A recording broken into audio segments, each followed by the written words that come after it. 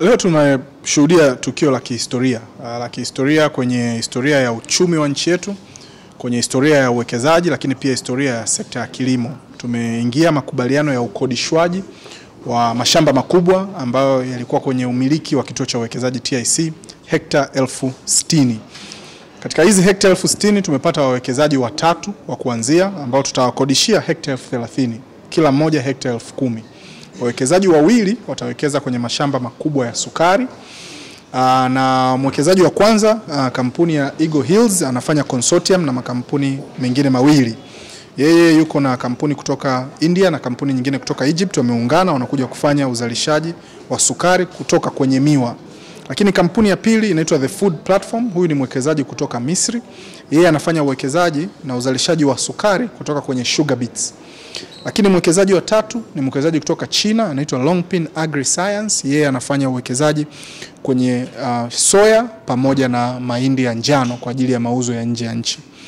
Na ni uwekezaji mkubwa kwa sababu katika historia ya nchi yetu hatujawahi kuwa na uwekezaji wa hekta elfu thelathini kwa mara moja kwa wakati mmoja.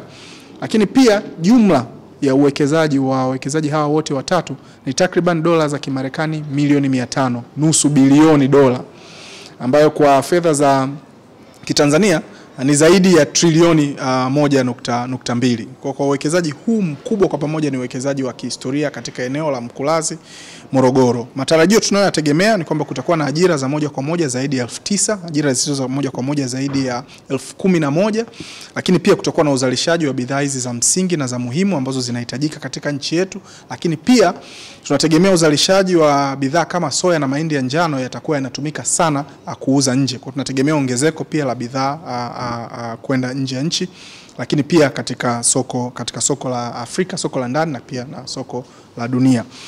Lakini pia niomba nitumie nafasi hii kumpongeza sana sana Mheshimiwa Rais Dr. Samia Suluhu Hassan kwa sababu wawekezaji kutoka hizi nchi zote ambazo tunazizungumza ni nchi ambazo Mheshimiwa Rais alikwenda kwa ajili ya kufungua mahusiano ya kiuwekezaji na biashara kutoka huko.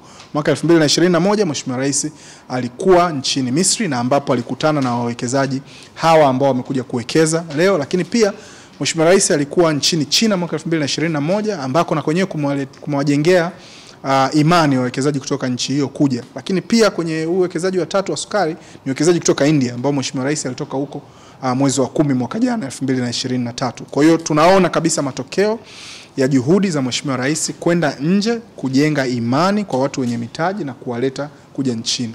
Eneo hili la Mkulazi limekaa wazi tangu kuumbwa kwa nchi yetu, tangu uhuru na ni kwa mara ya kwanza tunapata uwekezaji huu mkubwa ambao utatuletea fedha za kigeni, utatuletea ajira kwa ajili ya Watanzania, lakini pia utatuletea maendeleo makubwa ya kuuza bidhaa nje ya nchi. Tunategemea kila mwaka kupata sukari takriban tani laki moja na nusu kutoka kwa hawa wawekezaji wawili. Lakini kwa kumalizia, jambo la msingi ambalo pia limejitokeza katika sherehe hii ya utiaji saini ukodishwaji wa yale mashamba ni kwamba tumepata maelekezo kutoka kwa um, uh, Mheshimiwa Waziri wa Kilimo kwamba tuandae maeneo karibu na haya mashamba makubwa ambayo wakulima wadogo wa Tanzania wana uwezo wa kwenda kulima na kupata sehemu ya kuuza bidhaa zao. Kwa nitoe rai uh, kwa Watanzania wanaotusikiliza kwamba eneo la Mkulazi ni eneo jipya, ni jiji jipya la kilimo. Kutakuwa na fursa za ajira za eneo lile, lakini pia maeneo yanayozunguka, lakini pia wale ambao wangependa kuwa na kilimo cha mazao yanayofanana na haya ili kuweza kuwauzia wawekezaji hawa wajiandae na wenyewe kwenye maeneo yanayozunguka. Tunategemea mkoa wa Morogoro ambao ni, uh, ni mkoa muhimu sana kwa kilimo nchini kwetu utakuwa pia na wenyewe na manufaa makubwa makubwa mno kwenye sekta ya kilimo. Kwa hiyo pongezi kubwa sana uh, kwa Mheshimiwa Waziri wa Nchi Ofisi ya Rais Mipango na Uwekezaji uh, Profesa Kitila Mkumbo, uh, Mheshimiwa Naibu Waziri wake uh, Mheshimiwa Stanislaus Nyongo, Mheshimiwa Katibu Mkuu Dr. Tausi Kida na timu nzima ya kituo cha uwekezaji ambayo imeweza kufanikisha uwekezaji huu, lakini pia tunawakaribisha wawekezaji wengine wowote.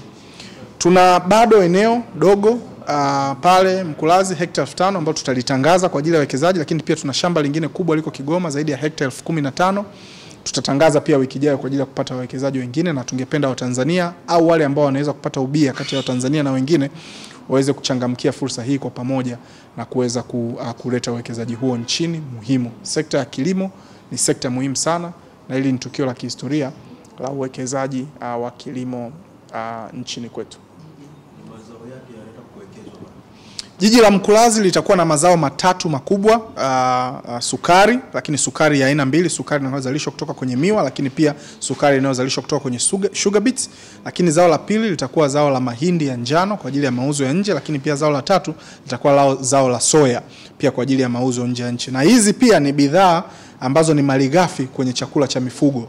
Uh, ambacho na chenyewe ni fursa kubwa sana kwa Watanzania ambao wanatafuta malighafi kwa ajili ya kuzalisha chakula cha mifugo lakini pia na yenyewe litatusaidia sana kuuza uh, uh, mazao uh, nje ya nchi. Lakini kwa wale watakao kuwa wanazunguka eneo la Mkulazi, tunatarajia na tunaendelea kutafuta wawekezaji kwenye sekta ya mifugo ambao na wenyewe wanaweza wakanunua malighafi kutoka kwenye mashamba haya makubwa na wenyewe waweze kuzalisha, uh, kuzalisha mifugo, nyama pamoja na bidhaa nyinginezo.